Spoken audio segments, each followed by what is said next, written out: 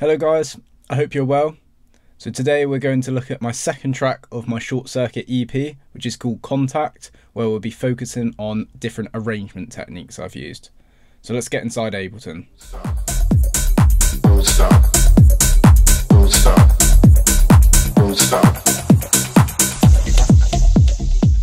Cool, so here is the whole project of the track. I'll just do a little background on the track again so this one was made quite recently at the tail end of 2022 and I finished it in February 2023, I believe. So quite a short turnaround on this one on being released. Um, it's actually one of my favorite tracks I've probably made. It's very rolling, it's very simple, and if I had to pick one track to showcase my sound, it would probably be this one. So for referencing on this track, I was using Wheats' track Heads Roll. Um, I really like the breakdown in that track, sort of a synth. Uh, you can probably start to hear familiarities when I play through the breakdown of this track, but it's got its own distinct feel. It doesn't feel like a direct copy of it. So I'll just play it through the main breakdown into the drop, just so you can understand and hear what the track actually sounds like.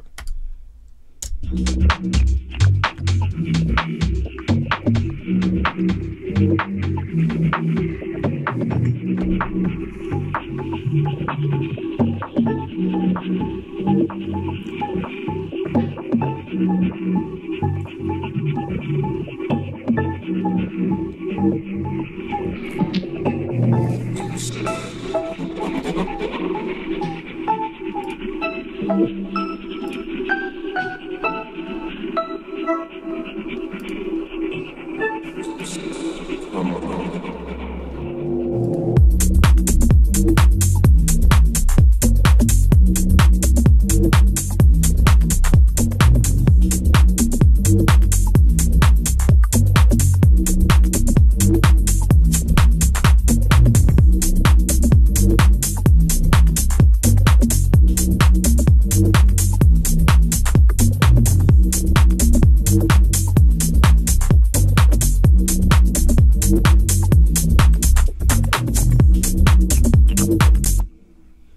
so you get the gist of a track. Quite underground, or very underground actually. Very rolling, but still got a nice groove to it as well. So we'll start off with the intro for track, which is very simple. It is literally just the kick, the bass, the clap, a few little hi-hats, and the percussion. I often start my track with the kick and the bass in. I just sound, just think it sounds quite full already from the get-go. Um, it depends on the style of track, but often my basses are very sub subby in the lower frequencies, so they can be mixed in very easily when DJing.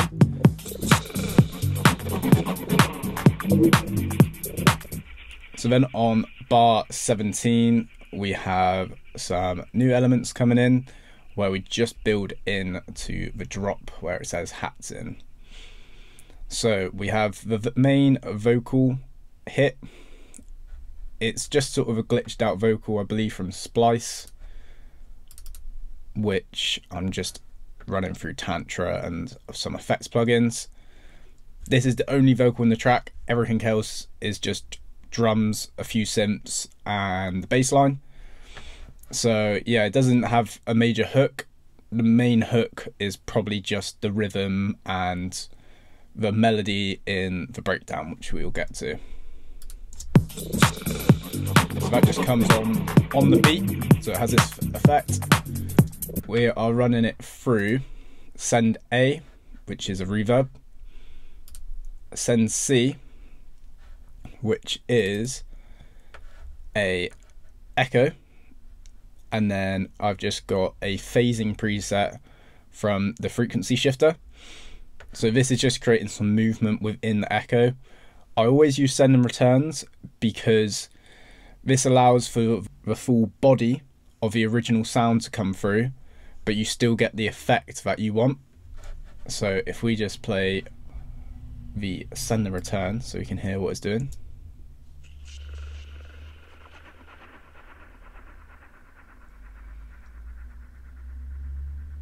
See, it's got quite a long tail on it, and it's doing quite a lot of phasing within that frequency shifter. Now, if this was just on the channel itself, it would sound too washed out, the feedback would go on for too long, and then you're just drawing in loads of automation lines through feedbacks, decays, reverbs. It just becomes a mess, in my opinion. Doing it through send and returns, you just get such a clean effect without losing the body of the sample that's being affected. So if I just turn this send and return off.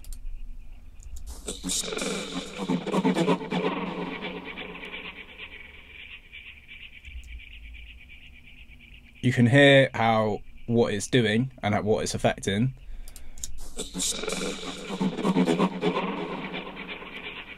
But it's very subtle, and that's why I love sending returns. So then on bar 17, we have this 16th hat rising in. Actually, it just comes in straight away. Because I have that vocal effect and the reverb and the echo on that, it doesn't need to be filtered in or automated in. It just comes in straight away. We also have our first bass synth. These are just samples from different sample packs. I believe they are from the Samples From Mars sample packs, which are very good. Um, I'm not too sure if they're still on offer, but i definitely check them out. I do this quite a lot within my tracks, is use bass samples as synths. I just find you can get a really nice effect and you can add to the rhythm of the bass line, but add more character and more variety to it with using different samples. And it's so much easier just using pre-made samples than trying to recreate your own as well. So we just play this from bar 17.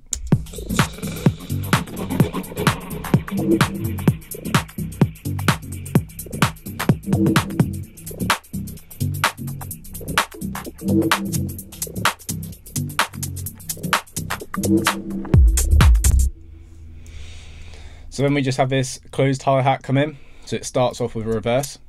I do this a lot in my tracks, especially with the arrangement. It just helps things flow.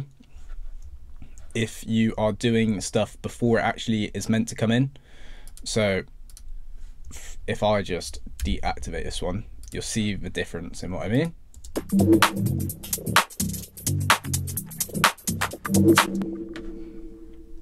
So it still sounds good, but when I just add that reverse in, it just helps transition for when that closed hat comes in, adds more variety, makes something sort of for the listener to listen out for. So I do this in pretty much all my tracks for the past six to eight months, and it is, I believe it's E. E, yeah. So it is a FabFilter Saturn and on it I'm just using one of the presets in the effects section called Glitch Beat 03 and what this does is it just really mangles up the hi-hats. If I just start driving it really high.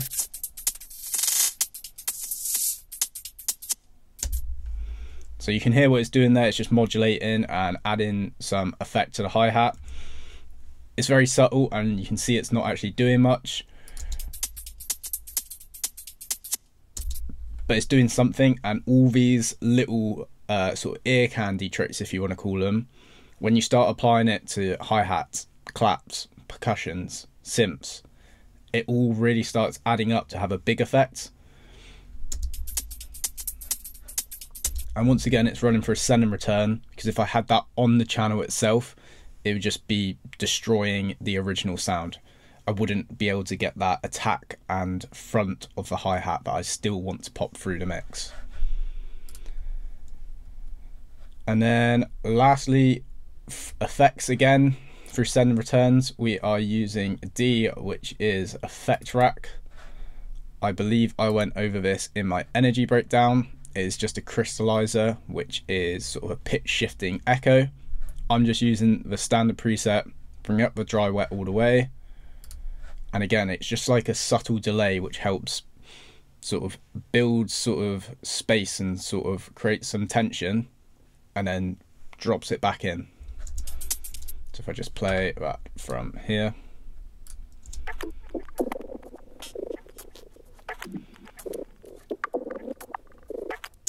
Subtle, but it's working.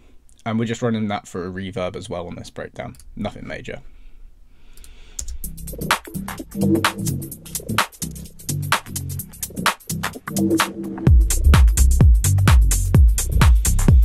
There we go. So we just drop in with the full groove there pretty much. There's a few hi-hats that come in later on, but I'll keep it rolling pretty much from the start. Yeah, it would be important to note as well what I've just done with the low end of the track here. So I set up an auto filter on my master chain. I then can automate the filter itself and turn it on and off. And as you can see from the automation line, this is on here. So it is cutting at 144 hertz. So anything below that is being cut. Then it's being turned off and that's when it drops in. It's just a really easy way to automate your low end if you want to separate it between your bass and your kick you can do so. Um, but often more than not I will just do it on my master chain because it's so easy to do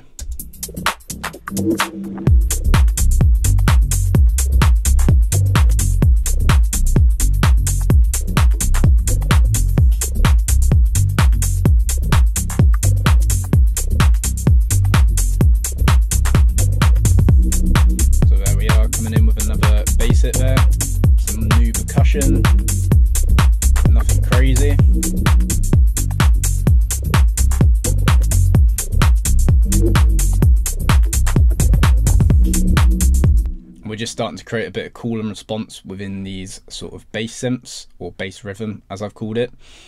So call and responses is when one hits or one calls, the other then responds. So what I mean by this is this one calls, this one then responds. And this is how you create dynamic and interesting grooves when you're in, within your track. So I guess it'd be important to note as well that I'm using another send and return on this bass synth. I believe I use it on all the synths throughout the track. And it is this echo down here, which is got quite a high feedback again, quite a lot of reverb, and it's on 16th, so it's not echoing too long. It's sort of short on the 16th notes, but it has this really nice sort of washed out effect. And you can see I've done it here just before it drops in on bar 25. And if I just carry on across, you can see I build it up during the breakdowns, and I'm just doing it on every other one or some random hits here and there. Again, I'm just creating interest and variety within the groove because there's not too much going on within this track. If we just look at the actual groove itself, there's about 27 channels, which isn't much at all. So let's play it back from here.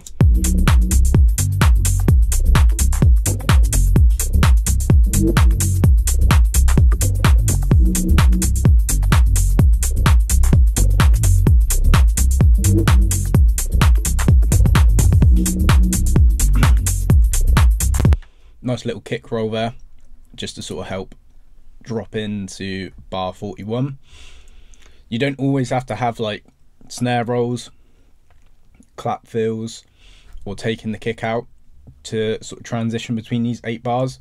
It can just something simple like that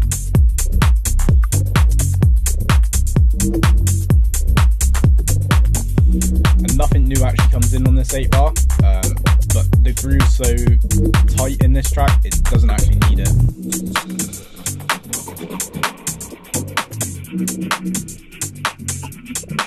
So I'll just play this break breakdown out and then we'll go over what's going on.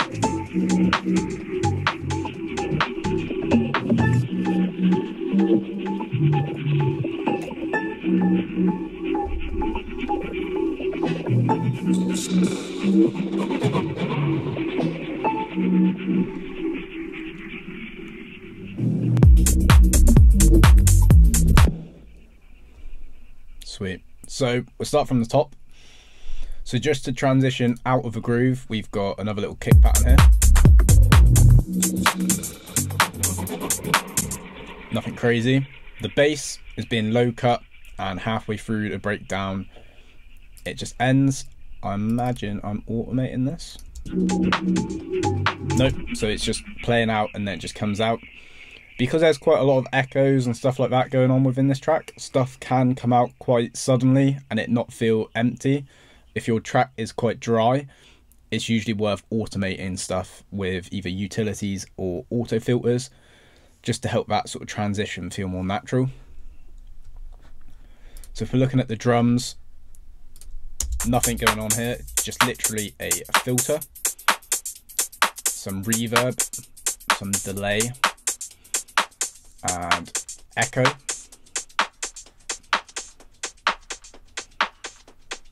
So those send and returns are just helping fill out the sort of filter, if that makes sense.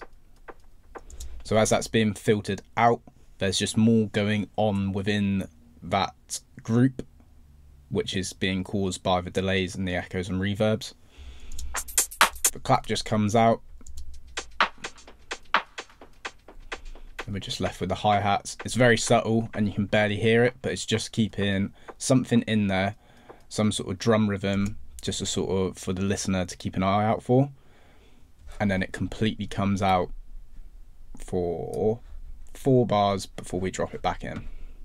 So through the perc group, you can see we've got probably a lot of automation going on here. So we've got the echo, we have got the effects rack, and we are running this one through the Saturn that we were using for the hi-hats.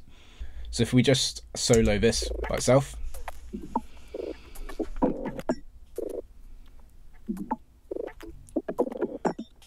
still quite dry. You can just hear some of the effects starting to work now.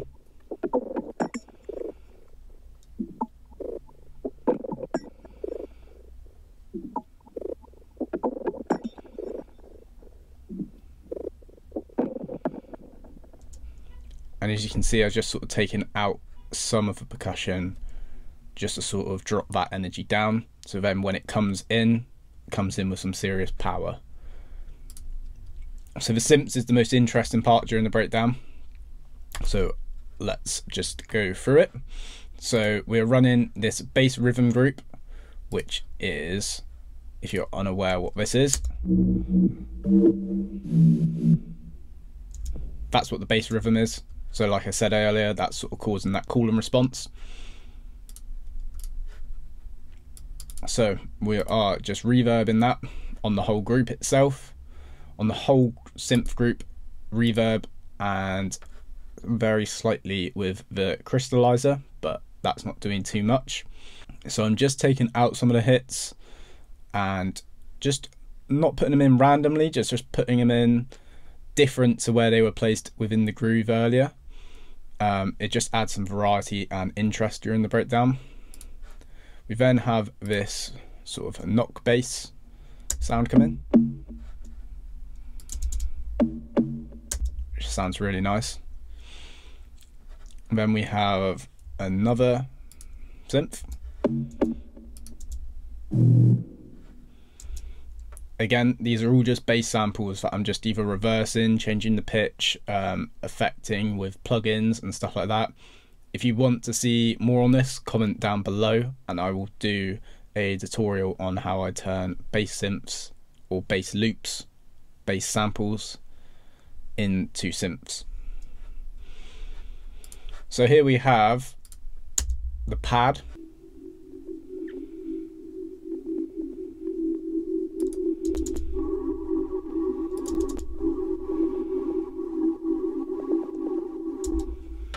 So this is just a sample. Um, it's not actually a pad from a pack or anything.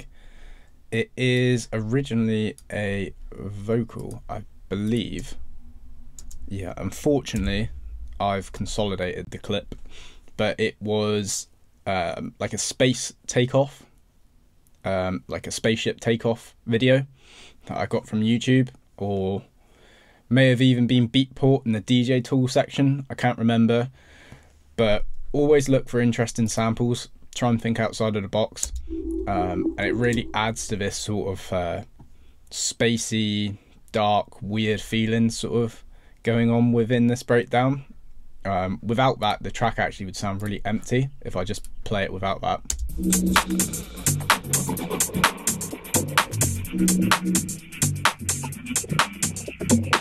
And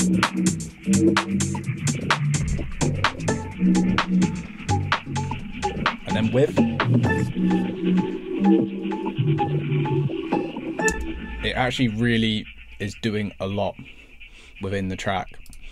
Something so subtle like that can really make a difference to the atmosphere and the emotion it has on the listener. So next up we have the ARP, which is definitely my most favourite part of the track. It is from Massive X. I believe it is two different sounds. Let's have a listen.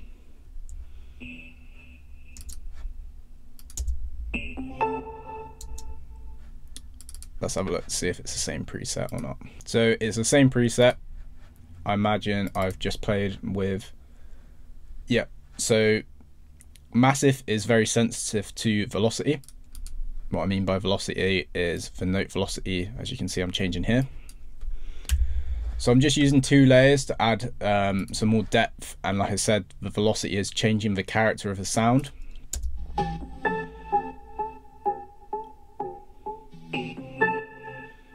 I'd love to say I made this uh, preset or knew how it was made, but I have no idea. It just sounds really good. But that's why you should invest in some decent synthesizers when you get to a level where you feel comfortable with producing, because they are then going to add to your skill set and add to your sound because you can just find great sounds to start with without having to try and make them yourself within some of the basic synthesizers that Ableton offers. So there's nothing crazy going on with this one, just it is running through the echo phasing, which is probably helping with that sort of weirdness throughout this track. And we are just filtering it up from the beginning of the breakdown.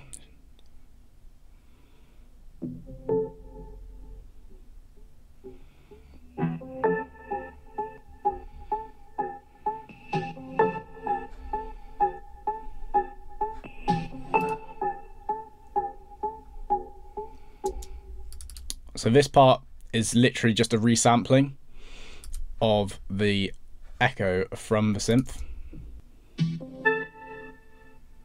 So if you just listen to the tail of that sort of reverb and delay of that synthesizer, all I've done is just resampled it and then looped a certain part. I've probably exaggerated some frequencies as well within the EQ. And I've also got it quite heavily panned as you can hear.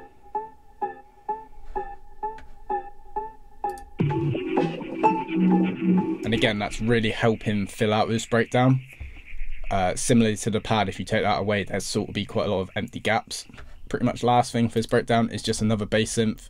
This one didn't fit very well in the groove. I think it's quite rough sounding. There's some very unpleasant frequencies in there.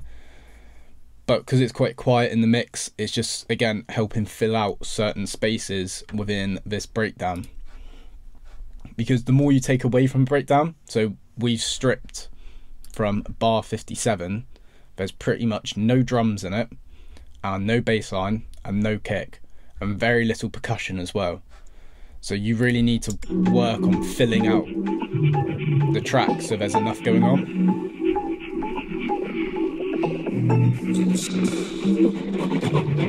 Vocal just comes in on bar 61. Everything then comes out and you just sort of get these tail ends of the reverbs and delays. Have we missed anything else?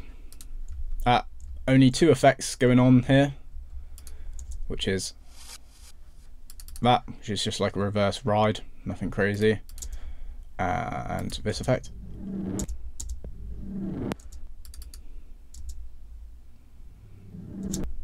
I imagine this was a sample that I've just reversed. I've cut off the end. In fact, let's have a look. Yep, you can see I've just cut off cut off the ends because there's just no need for that. And if you go to the pitch, I've actually pitched it down. So if we just hit zero, see what it sounds like originally.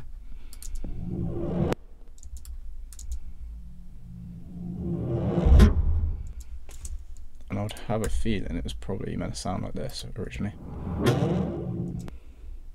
Not too sure if I reverse that or not, but reversing samples can have a really good effect and so can changing the pitch as well especially if you're wanting to make unique rises other than you know the standard white noise and reverse sort of crashes and stuff like that so we will play out the groove until the next short breakdown because again nothing much goes on because it's quite rolling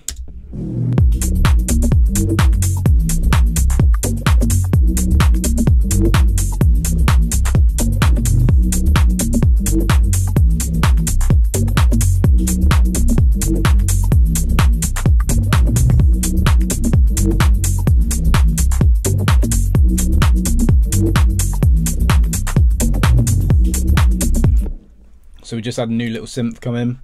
Again, it's not noticeable really, unless I pointed it out. It's just this sort of very short decayed square wave. I recently played this out um, of my own little master that I've done, and you can really hear this knock come through, and it just sounds wicked in the club.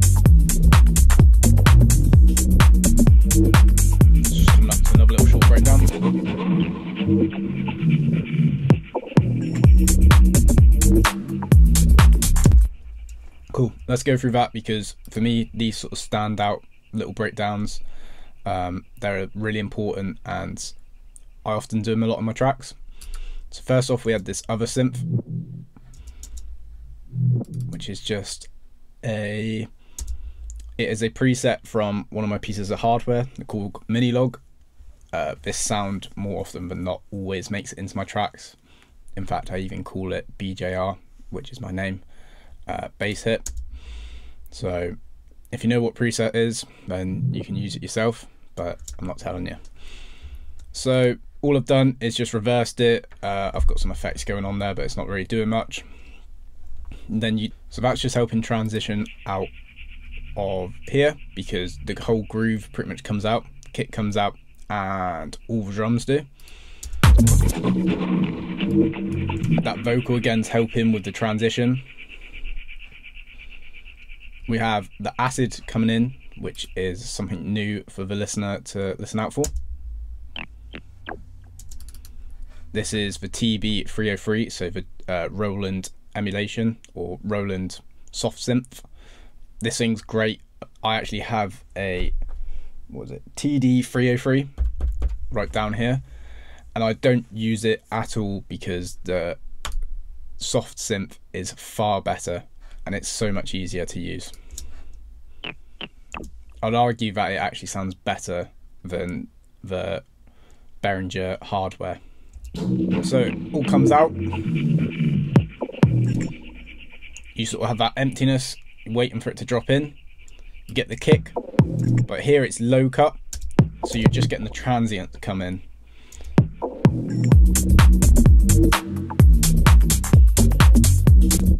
And then you sort of get it to come in, and then you have another little fake drop where it sort of comes away again. These effects on the dance floor work really nicely. Again, it's just something different from the standard break, drop, keep it playing. It just keeps it very interesting. And again, it's something that I would consider probably part of my sound because I do it quite a lot. I've heavily reverbed the clap here, as you can see, which is helping fill out where these drums and the kick goes out. We've also got another little low cut here. So again, you get even more impact when it comes back in on bar 82. But it's nothing crazy arrangements technique. It's very simple and it's just using what is already in the track, but it just sounds really good and it works really well within this rolling rhythm.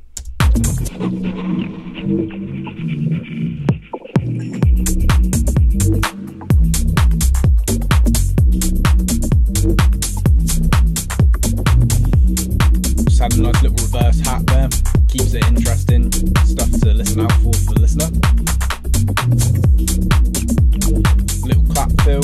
Go up to the clap, you can see I've just taken out a little section and added a few different notes.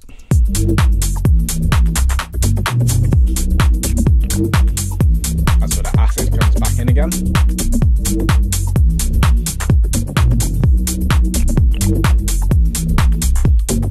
The main breakdown.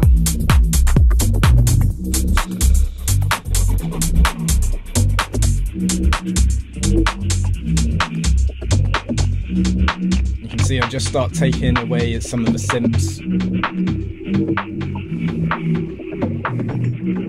that pad's coming back in. Got a little acid hit there.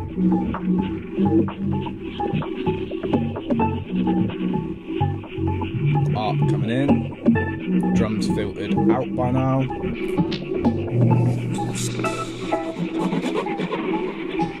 And this is what makes this break different from the first one, is the melody of that arp. Which again is really helping with this sort of trippy, spaced out vibe.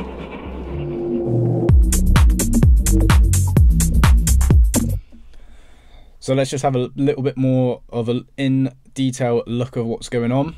So you can see again I'm using this echo occasionally just to sort of help uh, fill out some of these bass synths, especially when these drums coming away, just like I mentioned earlier. If you've got more stuff coming out, you're going to want to fill it back up in the breakdown, or else it can just sound a bit empty. We have this new synth, which comes in later on.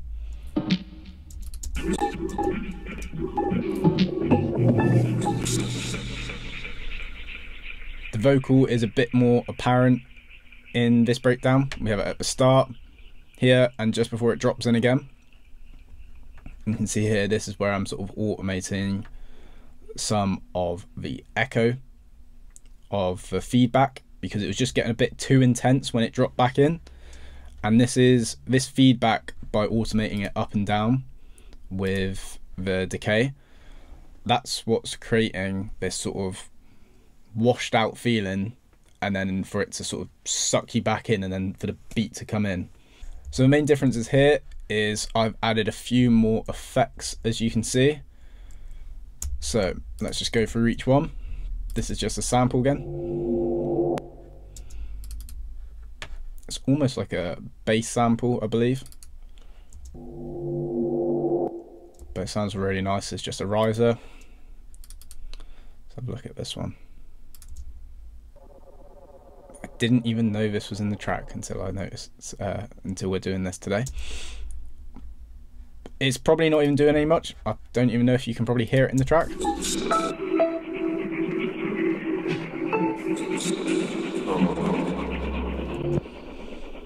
No, you can't hear it, but we will go over what it's doing. It's effectively just creating a riser through an a uh, through a arpeggiator. So if we just listen to what it's doing, turn off the filter.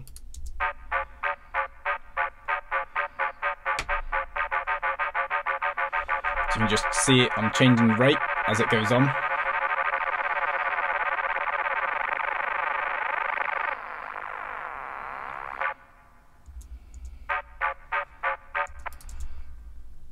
and we're just automating that with a filter.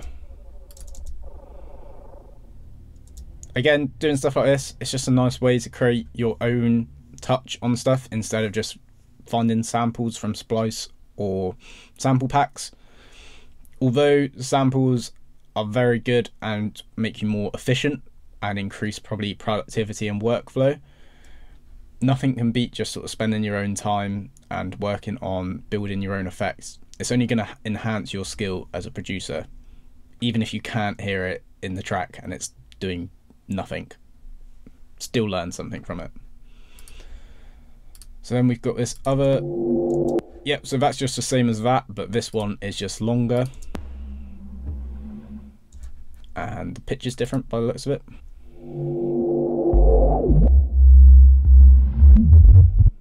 So it's got the same name, so it's from the same sample pack uh, but it's just very slightly different sounds. Doing the same thing though, just creating a riser. I've got another one here, which I believe was in the original breakdown. Yep. And the reverse crash. I don't need to play that because we all know what that is. And all of them together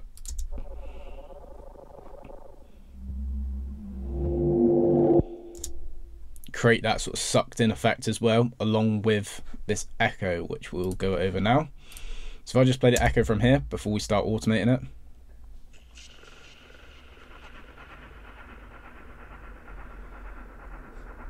So if we go on the feedback, you can see I'm bringing the feedback right up, so it's very high. And it's coming right back down. We're leaving some in when it drops back in to help that transition but it doesn't tail for too long.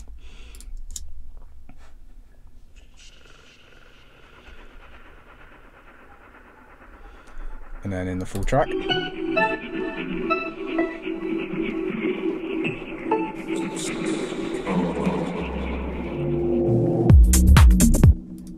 And that's pretty much it for the main breakdown. Like I said, we changed the melody of this ARP. I've just added a few notes in.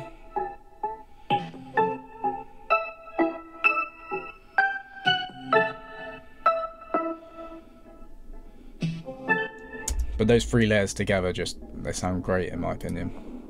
And you can really hear now what that echo is doing now I've paused on there. So let's play it from the drop and nothing really else much goes on. We have another little short breakdown here, um, but that is pretty much it. But we will play it anyway.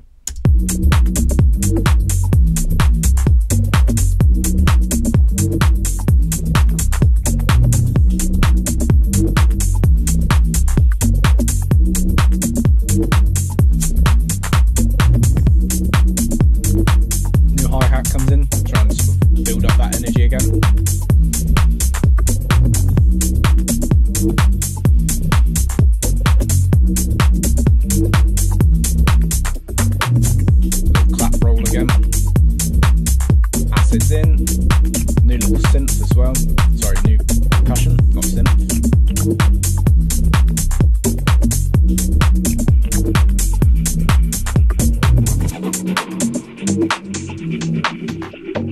this is just a very short version of the two main breaks. As you can hear, drums filtering out, vocal effects.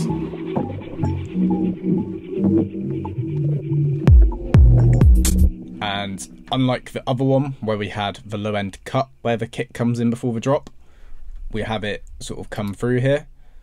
Just because the bass lines come out. So it's quite empty for a little bit. And that kick will really flop not flump, thump through in a club.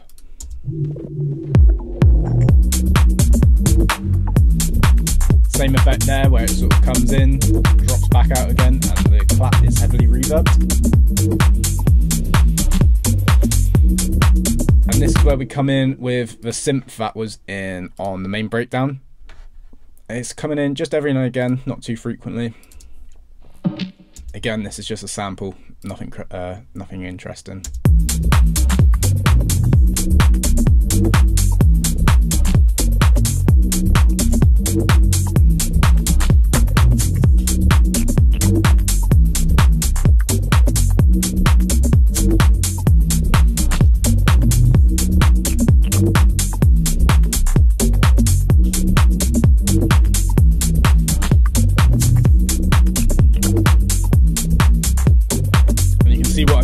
Very rolling. The beat just continues to just go on and on, and the grooves just it seems to be like one of those never-ending grooves that you could just listen to on and on and on.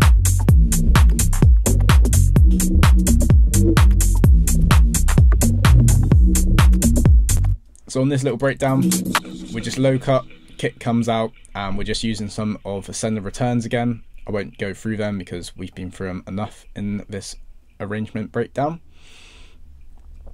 And we're just stripping away the energy now because it's starting to come to the end of the track. We are at 5 minute 30. So if I was DJing, this is probably where I'd start to mix in my other track. So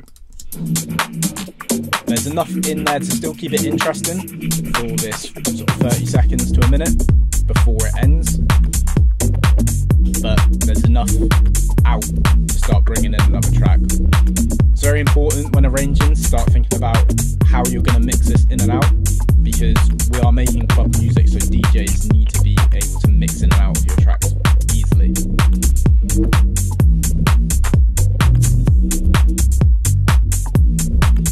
We come to the outro, just low cut, last hit the vocal and we're just sort of rinse and repeating how we started with a clap, a kick, a bass, and a few little hi hats and percussion. But here we've kept the low end in. Now we're cutting the low end. And that is the full track. Like I was just saying about thinking about how DJs are going to mix in and out, I try and not do anything fancy within the arrangement, especially on these last sort of 16 to 32 bars because this is where a DJ is probably going to loop it. So this is why there's no sort of rises or vocal. It's very sudden because I would then, if it was myself, four eight bar loop, and then I'll be able to do my sort of transition or whatever by then. Hopefully I've mixed in the other track and I can just sort of keep the energy or the noise from this track without having to cut it. And there we go, that's it. So there you go, that is the arrangement breakdown of my track Kontakt, which is out end of March on Short Circuit. I hope you guys learnt a lot from that one. It's a very simple track, but sometimes that's the best way to do things. Please let me know what you think in the comments below. Hit the like button and subscribe, and I'll see you on the next one. Cheers, guys.